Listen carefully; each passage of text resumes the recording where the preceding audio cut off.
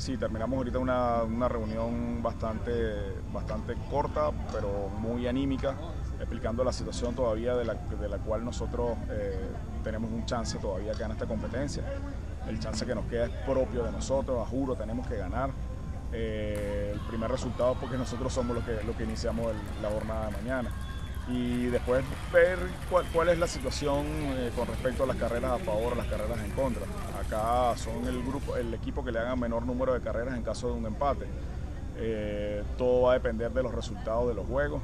Todavía ahí existe la posibilidad de que tanto México, Cuba y nosotros, nosotros eh, ganando el juego de mañana, quedamos empatados y vamos a las carreras entre sí. En las carreras entre sí, en dependencia del resultado de mañana, del número de carreras que nos hagamos, tanto Cuba, Cuba y Venezuela, por supuesto, nosotros ganando, eh, somos nosotros los que pasamos.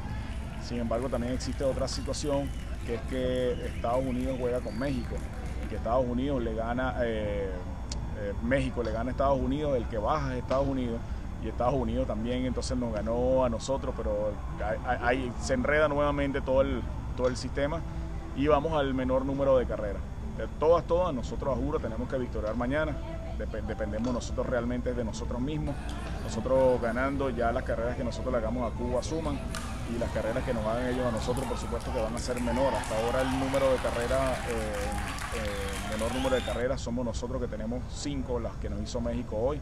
Uh, México tiene las carreras que ellos hicieron ayer, que fue el resultado de ellos fue 10 a 12, entonces tienen, tienen ese número de carreras más la que nosotros lo hicimos, quiere decir que ellos tienen 13.